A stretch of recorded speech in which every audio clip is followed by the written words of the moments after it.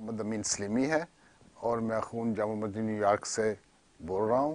حضرت صاحب سے میرا سوال یہ ہے کہ ہمارے دین میں جو مسلک ہیں، یہ کیوں ہیں اور ان کا کیا کنسپٹ ہے؟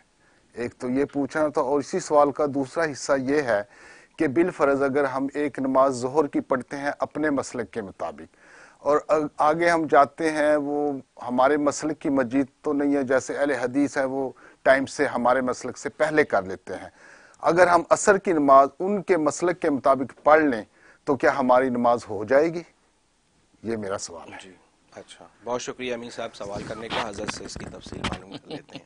بقیہ ویڈیو دیکھنے سے پہلے ویڈیو کو لائک کریں رحم ٹی وی چینل کو سبسکرائب کریں اور بیل آئیکن پر کلک کریں۔ شکریہ۔ ماشاء اللہ امین صاحب، آپ نے جھگڑے والا سوال کر دیا۔ یہ مسلک اور فرقوں کی جھگڑے پہلے ختم نہیں ہوئے۔ تو آپ نے سوال کر دیا ہے۔ اصل میں مسلک جو ہے، مسلک جو ہے سلوک سے، سلوک کہتے ہیں راستے کو۔ مسلک راستہ۔ تو یہ جو سلوک سے ہے، چلنے کا راستہ، اس کو مسلک کہا جاتا ہے۔ تو لہٰذا جو چلنے کے راستے، اصل میں تو مسالک جو ہے، وہ ان کو کہا جاتا ہے جو چار بڑے مسالک ہیں۔ یعنی فقہ شافی اور فقہ حنفی، فقہ مالکی، فقہ شافی فقہ حنبلی۔ تو یہ چار جو یہ مسالک ہیں اہل سن والجماعت کے۔ لہٰذا وہ مسلک کے مطابق جو ہے، یہ چلنے کے راستے ہیں۔ منزل محمدی ہے صلی اللہ علیہ وسلم۔ اور یہ چلنے کے راستے ہیں۔ لہٰذا اگر کوئی شافی ہے تو وہ بھی حق پر ہے، وہ منزل پہ پہنچ رہا ہے۔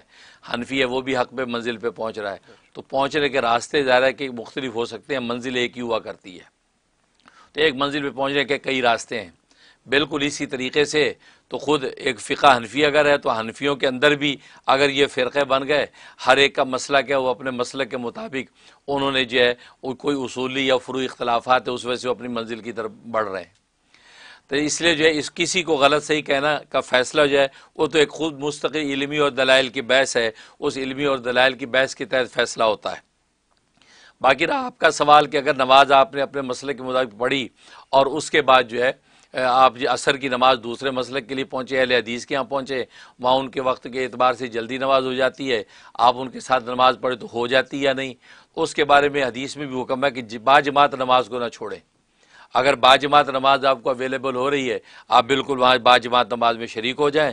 اور جی اس لیے حدیث میں فرمایا سلو خلف کلی برن و فاسقین۔ تو لہٰذا آپ کو جو ہے، وہ با جماعت نماز پڑھنے کی، کا حکم ہے، آپ کو کسی کے بھی پیچھے نماز پڑھنی پڑ جائے۔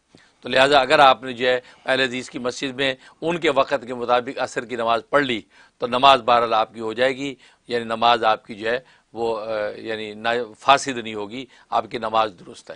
وہ الگ بات ہے کہ کوشش انسان یہی کرتا ہے، اپنے مسلک کے مطابق جو مساجد ہیں، وہاں جا کے مسجد، نماز پڑھتا ہے، تاکہ شرح صدر اور نشاط کے ساتھ وہ سمجھے کہ میں نماز اپنے اصولوں کے مطابق پڑھ لی ہے۔ لیکن اگر کوئی ایک مسلک والا دوسرے والے مسلک والے کے پیچھے نماز پڑھ لے، تو وہ ایک علمی بحث شروع ہوتی ہے، لیکن ویسے نماز کے ہو جانے میں کوئی جو ہے وہ مذاکرہ نہیں، نماز آپ کی درست ہے۔ اچھا ماشاء اللہ